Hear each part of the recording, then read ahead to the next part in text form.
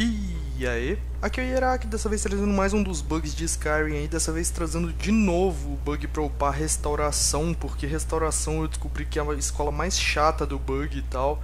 Uh, eu já tinha trago um aí no canal, não sei se eu vou excluir ele depois desse aqui, uh, mas o outro é muito lento, que é de ficar curando um outro personagem que tiver ferido e tal, demora demais. Com esse aqui, que creio eu foi autoria minha, eu acho que ninguém nunca deve ter usado isso aqui pelo menos eu descobri sozinho, entendeu? Testando várias uh, teorias minhas aqui para conseguir upar rápido e deu certo. Não vi isso em lugar nenhum na internet, mas dá bem certo mesmo. Então, o que, que você precisa?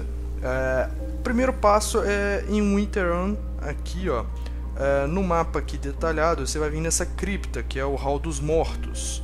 É o local onde é enterrado todo mundo que morre aqui nessa cidade. depois é lá dentro, então já volto aí.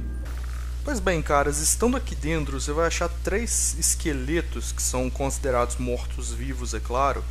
É, e eles vão ser muito fracos. Eu, por exemplo, tenho nível 50 e eles estão abaixo do nível 13. Daqui a pouco eu explico por que, que eu sei disso.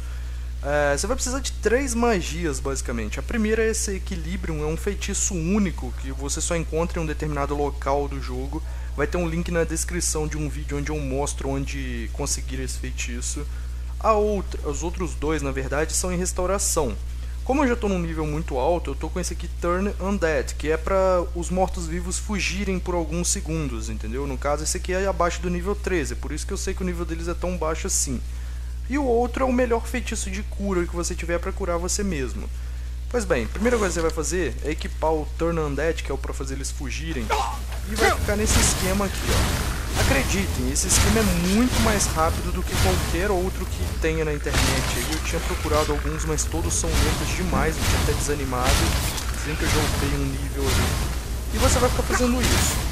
É, se o feitiço for de nível alto igual o meu, seu custo de magia vai ser bem alto. Então rapidamente vai acabar a sua barra de magia. O meu não tá porque eu tô com itens de diminuir o custo de restauração e tal.